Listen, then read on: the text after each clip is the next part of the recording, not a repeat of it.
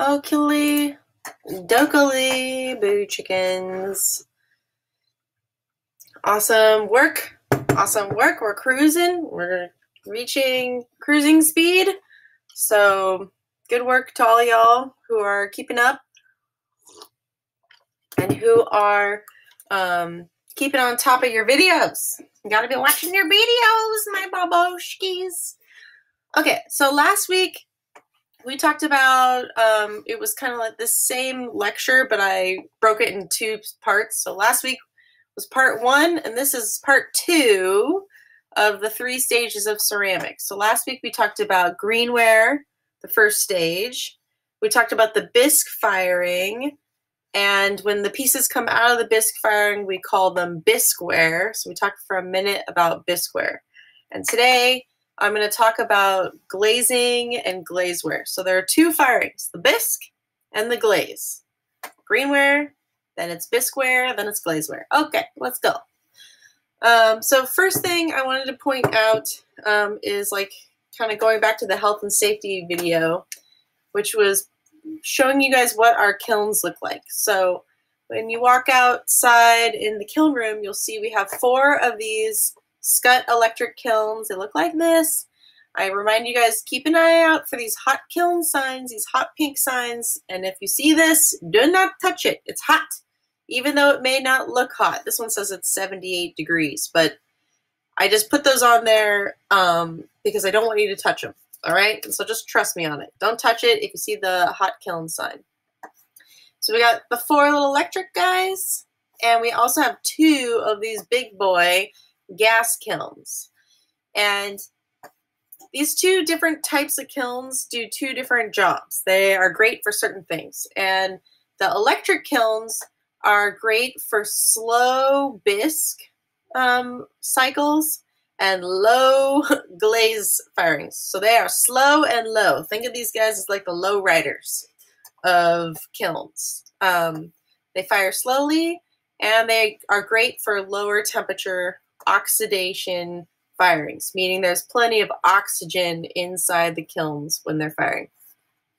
These big boys, these Geil gas kilns, use natural gas to fire, and they are great for hot and fast firings. So they are great for high temp um, glaze firings, and they also have the ability to reduce um, in their atmosphere. And I'm going to explain that later. So slow and low and hot and fast. And do not touch unless I ask you for some help in here. Okay? All right.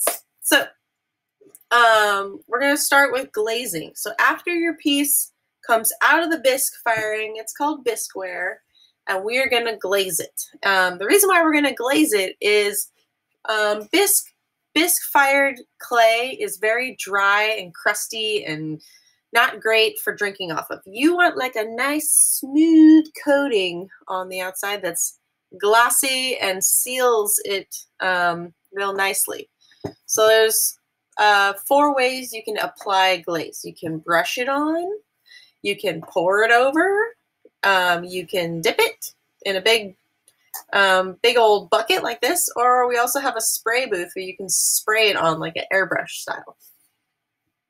All right. What is glaze? Glaze, like I said before, is that sealant or that coating, that glass-like coating on the outside of ceramics. It's the glossy white glaze on your toilet. It's the you know, the blue, pretty blue bowls and plates and dishes that you have. Like it's the it's the glossy stuff on the tile, you know. Um, but what's interesting about glaze is um, what it's made up of. People are always kind of like, well, what is this glaze stuff made of? Well, there's definitely some glass involved because it's it's shiny and glossy. glossy. Um, but if you were to just put glass on your bisqueware and then fire it in the kiln, it wouldn't stick to the clay body because glass tends to shrink, have more shrinkage, and pop off. So we mix in a little bit of clay into that glass um, mixture to help kind of bind it to the actual clay body. And that's great, but clay doesn't really melt into glass that great. And so, um, what people developed over this is, I'm totally exaggerating, over um, shortening what I'm trying to explain to you guys. But um, uh, what they developed over thousands of years was flux. And it is sort of like another kind of like um, material similar to like feldspars or more basically more racks.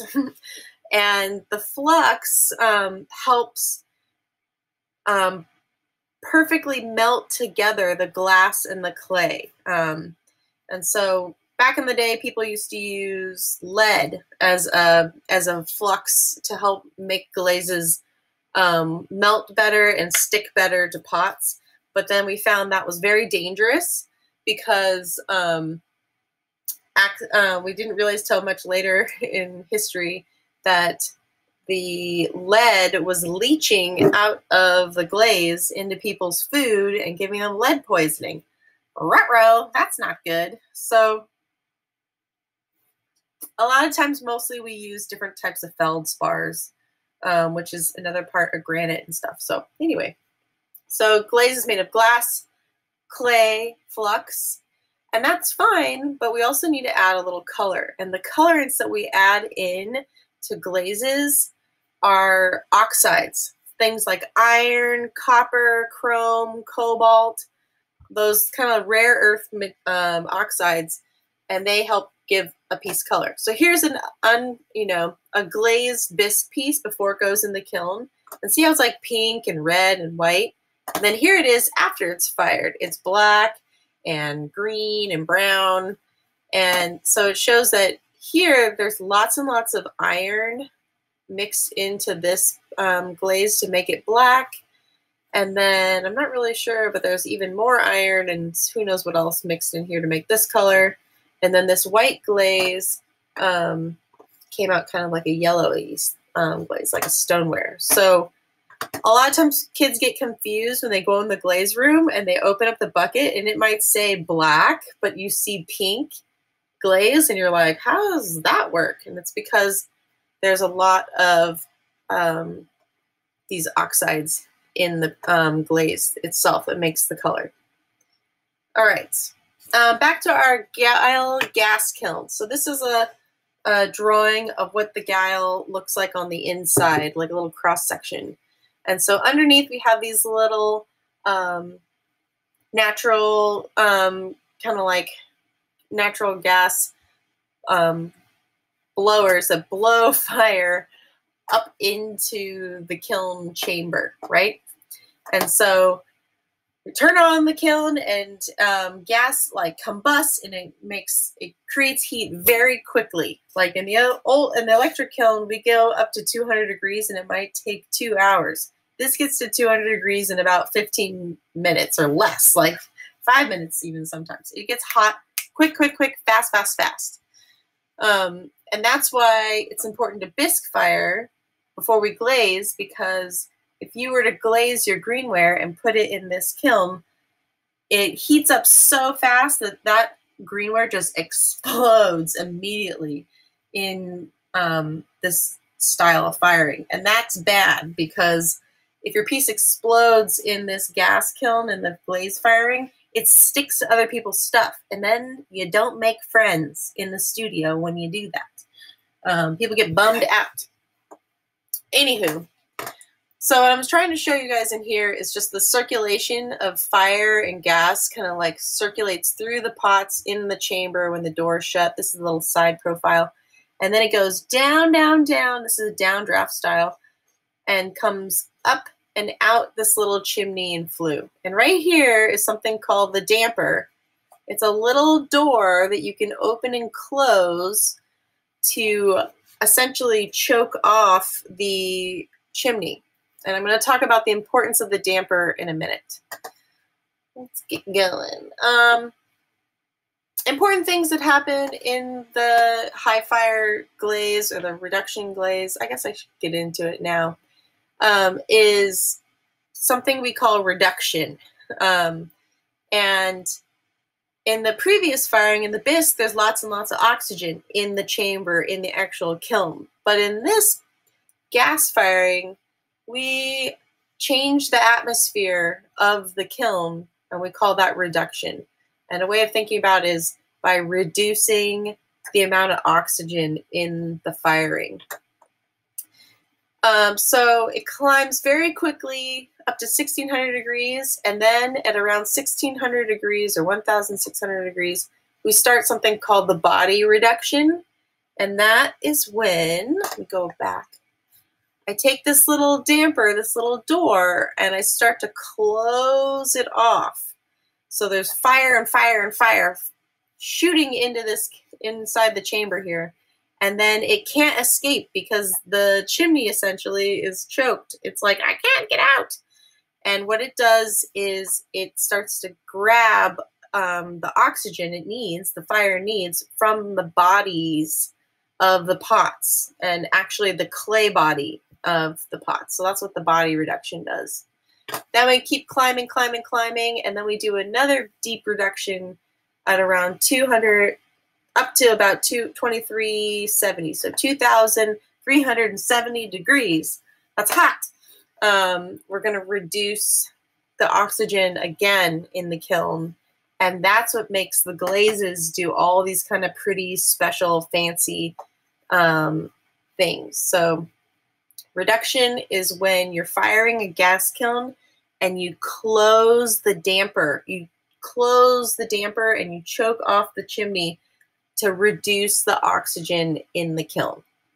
Hopefully um, that makes sense. But here's why it's interesting and exciting. Here is the same glaze fired in oxidation and fired in reduction. And so the story behind these copper reds is red is like a really, really challenging color to make in ceramics. You can make brown easy, you can make blue and black, that's easy peasy because you just use iron. Um, and back in China, thousands of years ago, um, all the pots were green. They did all kinds of green because this is copper, like um, zen, um, zinc, tin, and copper. And um, zinc and tin make it opacified, but copper makes it green in this glaze. Here's the recipe. Um, and so the story goes that they were firing kilns and kilns and kilns of these greenwares um, in oxidation, you know, just regular heat and fire going through the pots, and that was fine. And then what we think happened is an accident. Something must have happened, like maybe there um, somebody bumped something and it closed off the top of the chimney or the flue of the kiln.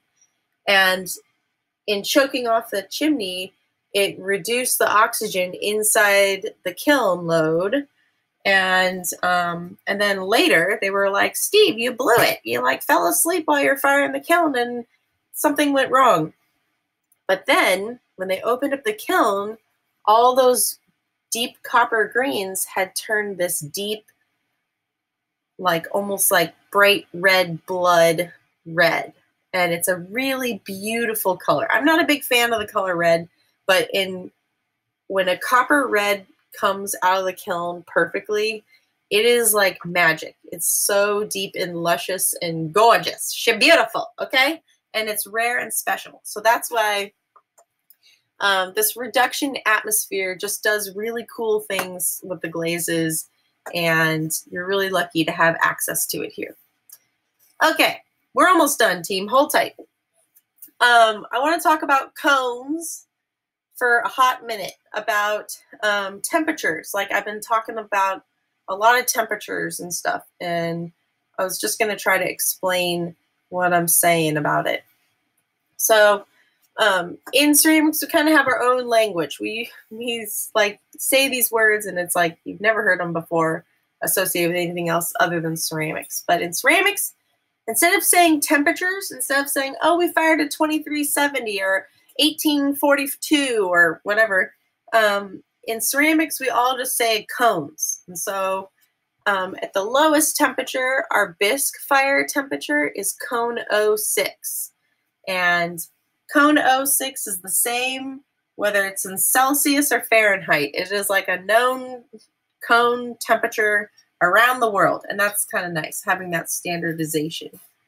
Um, cone five is our mid fire or like kind of middle temperature um, glaze temperature that we also fire at CHS. We do that in oxidation in the electric kilns. It's kind of like our low mid temperature um, temperature thing. And then cone 10, that is our high fire, hot, hot, hot cone 10 reduction, the highest temperature um, that we fire. And the reason why they call them cones is because they look like little cones. They're little cutie guys. I wish this thing would go away. Oh, there it is.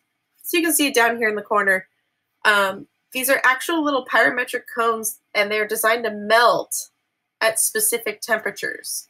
So when the kiln gets to a specific temperature, he melts over. And as I'm firing the cone 10 reduction, I'm watching those cones melt. I'm looking for them at specific temperatures in order to do the body reduction or the glaze reduction. It's cool stuff. Um, but before we had cones and before we had these high temperature thermometers called thermocouples, the way people could tell the temperature inside of a kiln was just by looking at the color of the fire. So that's what this is all about. So as we're bisque firing, the kiln will be dark. And then as it slowly starts to get dull red and dark red, it's about, it's right around quartz inversion. And then cone 06 is right around here in this kind of red orange color. So they just knew they need to keep stoking the fire until they saw the specific red orange, and then they knew they were at the right temperature. It's super cool. Um, but when we're firing our cone 10 firings, which is really interesting, like as it's firing up, it gets hotter and hotter and hotter and goes past red orange, up into the yellow orange, all the way up to almost like quite possibly white it's definitely pretty white hot. Like it's really hard for me to see in the kiln. I have to use welding goggles to put them on and look inside there because the interior of the kiln is so hot. It is like staring at the sun. um, it's 2000 here, like, you know, white hot is 2,372 um, degrees. She hot, hot, hot, hot. That's cone 10.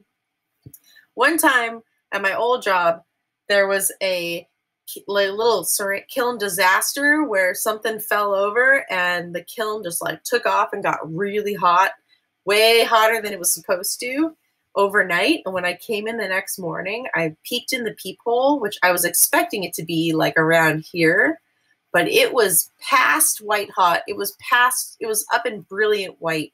Like it was the whitest, brightest light I've ever seen in my whole life in a kiln, and I was scared to death.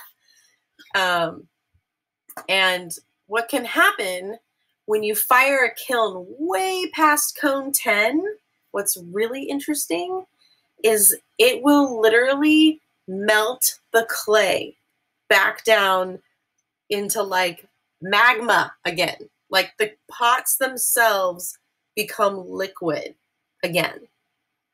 And so, yeah, that's what's kind of crazy. Like if you fire pots up past um, like up to almost 3000 degrees, they become molten. so, anywho, I find this stuff interesting, I guess. Nobody's watching right now, are you? um, okay, and then stage three, your pot comes out of the kiln and it's beautiful, gorgeous glazeware. And it's gorgeous. This is all cone 10 reduction work um, that you can make. And we have these glazes. They're beautiful. So I'm excited to glaze your stuff. It's like one of my favorite um, parts of ceramics. Okay, last but not least, where do you put your stuff? Um, if you're at home, I'm going to just have you bring it to school and drop it off, and I'll make sure it gets in the kiln in the right place in the right time. But if you're in person, where do you put your greenware? If you want it to be bisque fired, you're going to put it on the greenware shelf because it's greenware going into the bisque, right? So greenware is the first stop. It goes greenware shelf. After it comes out of the bisque, some little kiln elf, kiln fairy is going to unload your piece and it will appear on the bisqueware shelf. Um, the So your piece goes into the bisque as greenware and comes out of the bisque as bisqueware. So you can find your bisque on the bisqueware shelf. We got it. Um, this is inside the, the kiln room. There's all these racks in here. I tend to have the greenware on the right and the bisqueware on the left, but always read what the shelf says before you just like stick it on there. Like take a minute and read. People just like stick it and then they stick it in the wrong shelf. And then um, if you were to stick your greenware on the bisqueware shelf, it would just sit there forever and ever and ever and not get fired. So you gotta make sure you put it on the greenware shelf first. And then after you pick it up off the bisqueware shelf and you glaze it, um, if you use cone 5 glaze, you're going to put it on this cart that belongs here that's not there right now, but it will be. Um, or if you do cone 10 reduction, you're going to put it on this shelf to go into the kiln. Then a kiln elf's going to like put it in the kiln and fire it. And when it's all done ski, she's finished, she's finished, they go here in the metal cage. This is where we can find them when they're done, done, done. Beautiful, beautiful work. Um, and if you put it on the wrong shelf, it'll end up on a reject shelf. Um, or I'll try and come find you if your piece gets rejected and talk about why it can be rejected. Um, it'll be rejected from the from the shelf if it's unsafe to fire, or if you put it on the wrong spot. Obviously, you need some reteaching. So um, don't get your feelings hurt if you get rejected. It's just an opportunity to learn. And if you can't find your piece, I charge a finder's fee. Um, you can't find it, and if I find it, then I'm going to ask you for a little favor in return, some little tasks, some little projects, some little cleanup jobs. Okie dokie pokies. I hope I covered it all. Um, I will talk to you soon about other cool stuff. So have a good week.